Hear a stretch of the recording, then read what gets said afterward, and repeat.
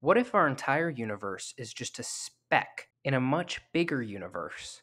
And then that universe is a speck in an even bigger universe. This is the stacked universe theory. Now, have you ever seen Men in Black? There's a scene at the end of the movie that it might stand out to you.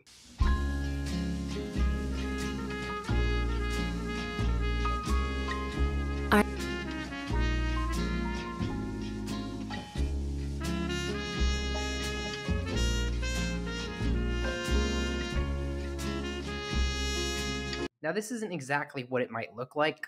For instance, we could just be a cell in an organism, or we could be a, a speck on a flower. I don't know if giant aliens are, you know, throwing us around like marbles and collecting us, but this shows universes and, and our entire universe and multiverse could be just something small, a speck inside another universe.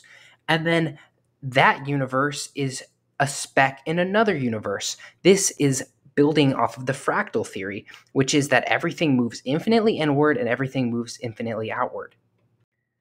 Now, one thing that could support this idea is the idea that our bodies work in a similar way.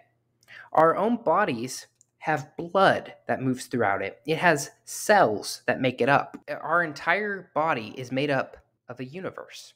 Our body is a universe to those cells we could be the cells to a much bigger organism that we have no idea about. Our planet could be a type of cell, and within it, we are here. And there's universes in our world, and it just gets smaller and smaller, and universes in our cells that we can't see, all building up to a bigger, greater thing.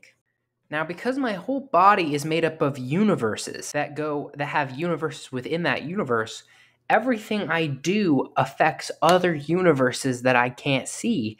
And our universe is most likely getting affected by things that are so much incomprehensibly bigger than us that we can't even possibly imagine it.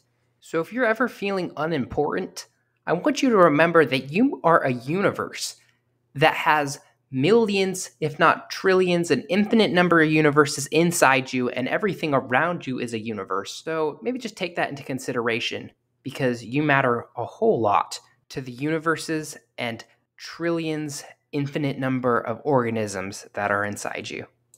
If you enjoyed this video, consider subscribing to me and making my fractal of consciousness and influence that much more large. Every time you subscribe, you actually increase my fractal. You push it forward in, into the world, and then other people can see these ideas, and then it just gets bigger and bigger. So consider liking and subscribing if you enjoyed. Thank you for watching, and I will see you in the next video. Bye bye.